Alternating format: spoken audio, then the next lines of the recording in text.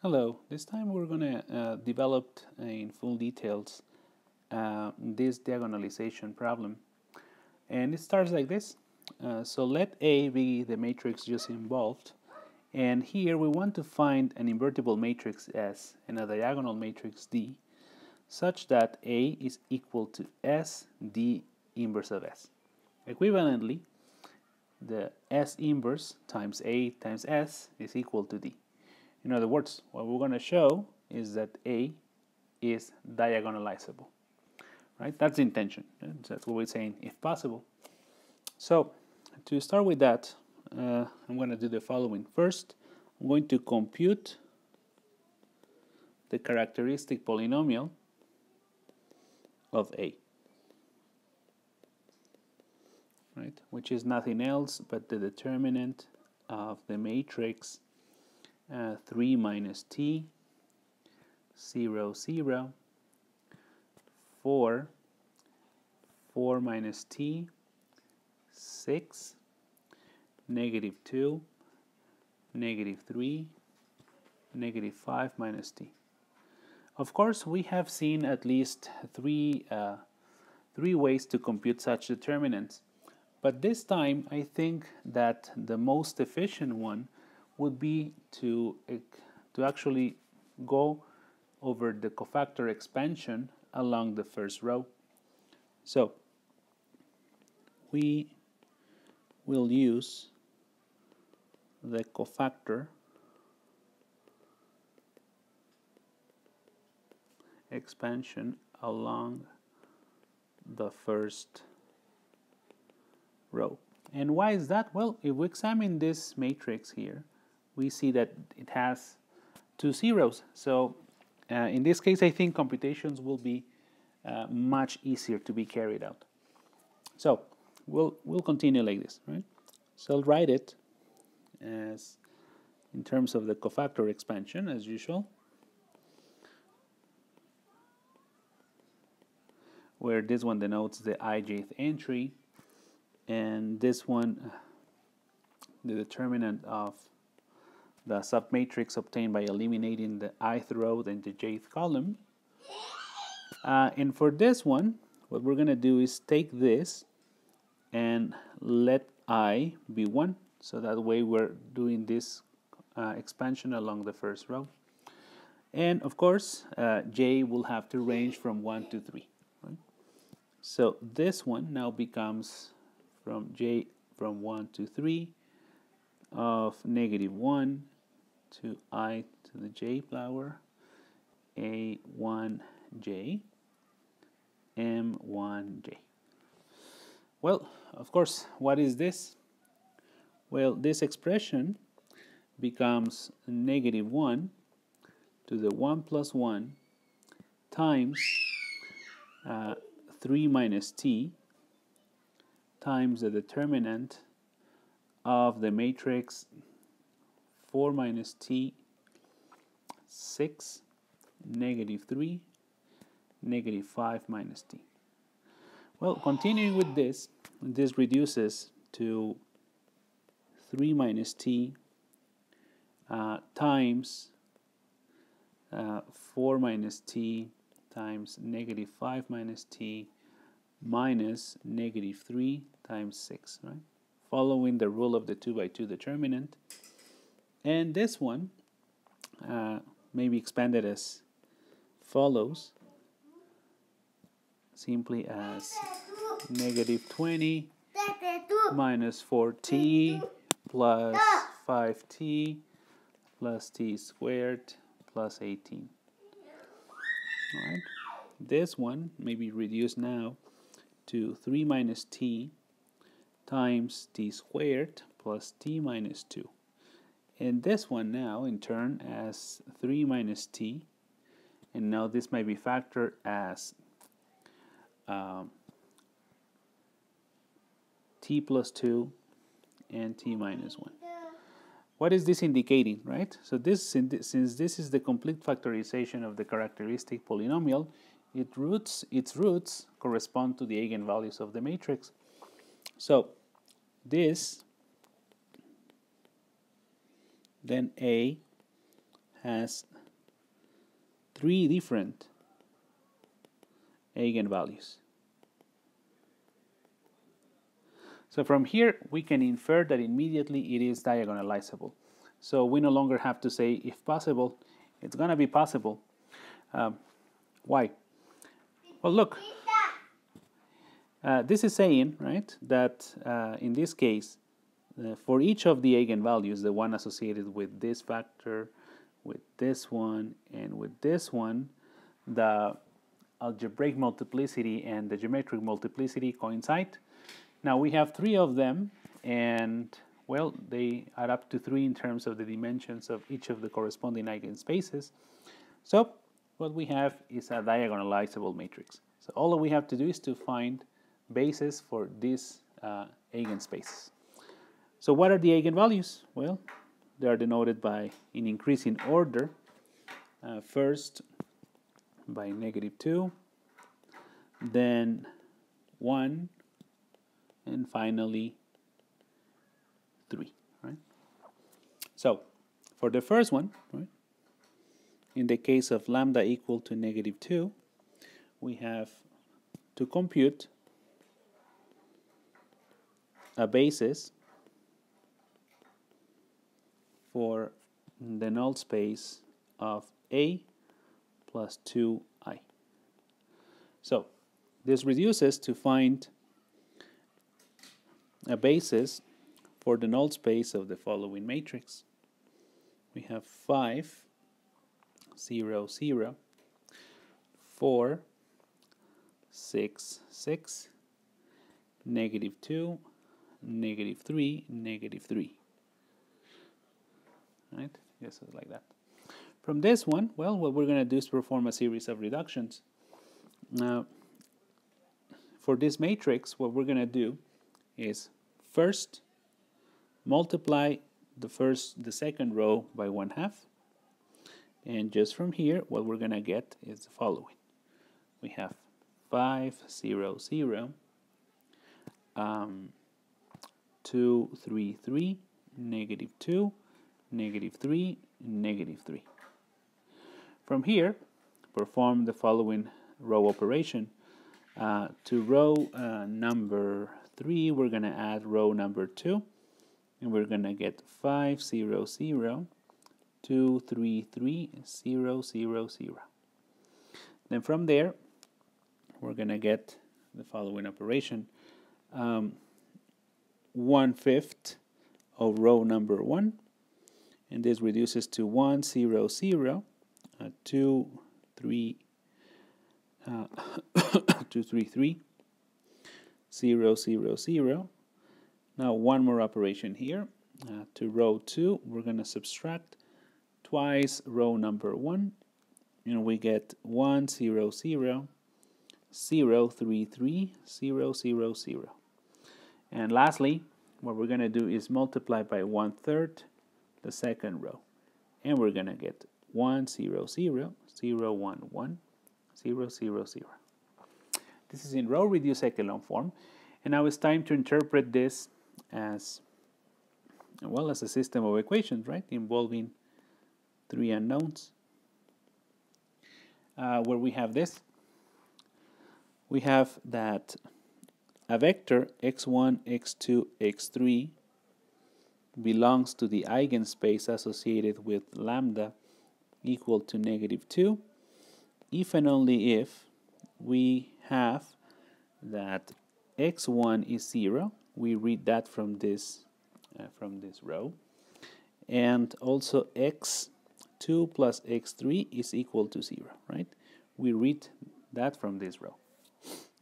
Well but this one is the same as to simply indicate that x1, x2, and x3 is actually written as 0 in the first entry. Then negative x3, x3, for which we may factor x3 and obtain 0, negative 1, 1. So what does this mean? What we have is that indeed the eigenspace associated with lambda equal to 2, to negative 2, I'm sorry, is equal to the span of the linearly independent set containing 0, negative 1, and 1 as its only vector. Okay, okay. So what we're going to do now is uh, essentially repeat the process for each of the eigenvalues. For lambda equal to 1,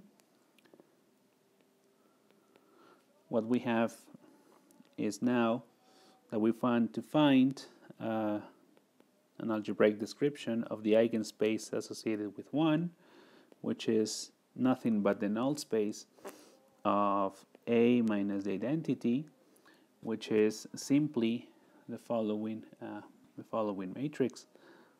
Um, here we have 2, 0, 0, 4, 3, 6, negative 2, uh, negative 3,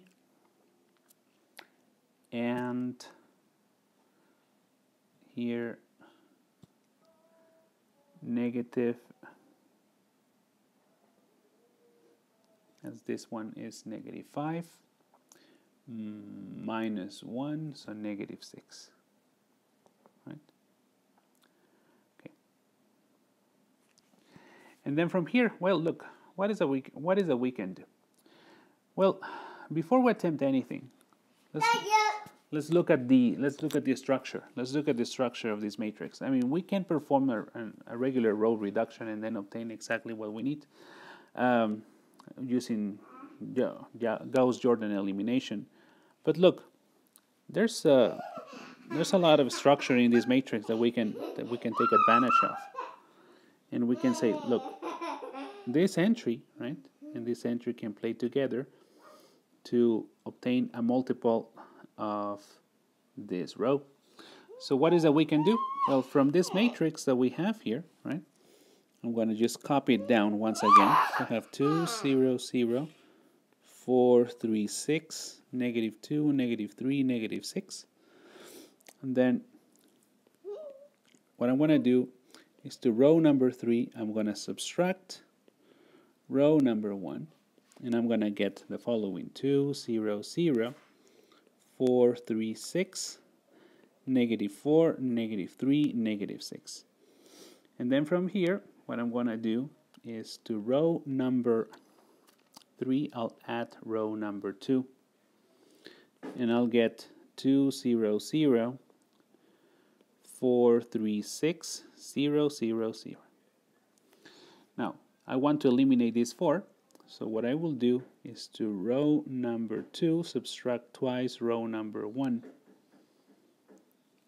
and I will get 2 0 0 0, 3, 6, 0, 0, 0. And then from here, what I will do is two operations at once. First, multiply the first row by 1 half and multiply by 1 third the second row. And that means that we're going to get 1, 0, 0. Um, 0, uh, 1, 2, 0, 0, 0. Okay, so just from here, uh, what is that we're reading from this portion? Well, we have this. We have x1, x2, and x3 belongs to the eigenspace associated with lambda equal to 1 if and only if we have, well, look, let's reinterpret this as a system of equations this says that x1 is 0, uh, x2 plus 2x3 is 0, right, simultaneously. But this may be written in the following fashion as x1 is equal to 0 and x2 is equal to negative 2x3. So, uh, what is that we can do? Well, from here, I'm going to expand and say, look, if I have a, a vector in these conditions, x2, x3, I'm going to write it as 0 for the first, then uh, as negative 2x3 and then x3. From here, extract the x3 that is common to the three components. So So 0, negative 2, 1. And then from here, indicate, well, look, this one is the one that's going to generate every single element in this eigenspace. So E lambda 1 is going to be given by the all the linear combinations from the following set 0, negative 2, 1. Right? Okay, um, so one more computation and we will be done. Now the one associated with lambda equal to, to 3. And, well, once again, what we have is that we're going to do this, which is nothing else but the null space of A minus 3 times identity, but this is the null space of the following matrix. We have 0, 0, 0, uh, 4, uh, 1, uh, 6, then negative 2, uh, here we're gonna do negative 3 and well we have negative 5 minus 3 that is that is the following. Oh, wait. Sorry for this. Sorry for this portion which was unintended. Uh, this would be negative 5 minus 3 that's negative 8. Okay. So, what are we going to do from this point? Well, let's observe. Um, what kind of reductions can be done from this position? Well, look, uh, what happens if we multiply this this row, the one that we have here, by, let's say, by, by 2. So now we copy the matrix. We have 0, 0, 0, um, 4, 1, 6, negative 2, negative 3, negative 8. Then for this one, what I will do is multiply by 2 the third row, and we will get 0, 0, 0, 4, 1, 6, negative 4, negative, negative 6, and negative 16. Right? Then from here, what we're going to do is perform a single elimination. And I'll do this. To row number to row number 3, I'm going to add row number 2. Get 0, 0, 0, um, 4, 1, 6, then 0, followed by negative 6 and uh, plus 1 no that's negative 5 and this one would be negative 16 negative 15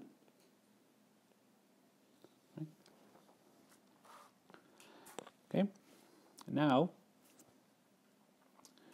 we're going to do the following.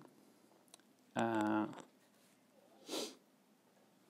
I'm going to multiply the first row, the second row, I'm sorry, by one fourth, and we'll get 0, 0, 0, um, 1, 1 quarter, then uh, 3 halves. Then for this one we have 0, uh, now negative 5, negative 15. Well, what I'm going to do at this point is that I'm going to multiply the third row by 1 by negative 1 fifth. So negative 1 fifth of row 3 and we'll get 0, 0, 0, 1, 1 quarter, 3 halves. Then 0, 1, 3. Okay. Uh, last operation that we're going to perform is I'm going to eliminate this entry. So what, it, what I'm going to do is uh, to row number 2, I'm going to subtract uh, one fourth of row number 3. So what we're going to get is the following expression. 0, 0, 0, 1, uh, 0. Then we have 3 halves minus 3 quarters. Well, that is just 3 quarters. And we have now 0, 1, 3. Okay. Okay. So uh, let's see. Let's see what else is that we have to what we have to do. Because now, uh, what we observe is that we can do the following.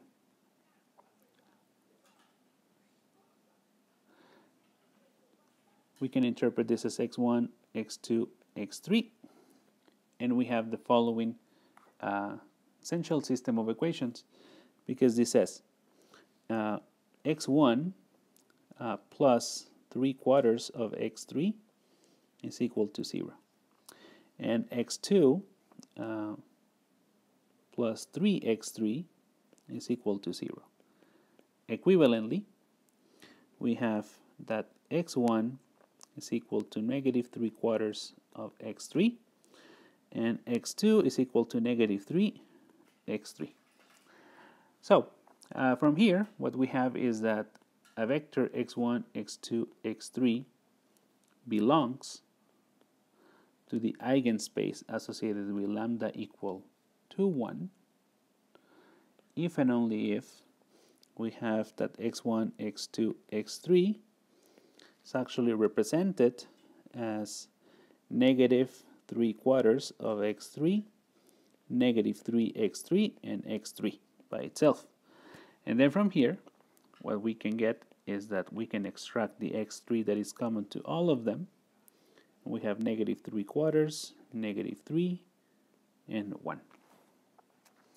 So, the eigenspace associated, sorry, this should be 1, this should be 3, with 3 is equal to the span of the linearly independent set consisting of negative 3 quarters, negative 3, and 1. So, if we set S to be the following matrix, I'm just going to compile everything that we have done. It would be the vector 0, negative 1, 1, followed by the column vector 0, negative 2, 1, followed by the column vector negative 3 quarters, negative 3, 1. Then we can verify that that's exactly what we wanted to find. So, S inverse A.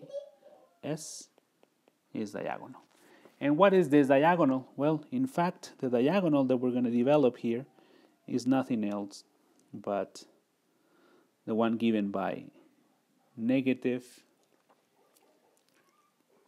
2, 0, 0, uh, 0, 1, 0, 0, 0, 3. Now, this is just a matter of direct computation that you can perform uh, at your own pace. I hope that you enjoy it. Uh, this is very complete, it's full of details. And well, don't forget to subscribe. Take care. See you next time.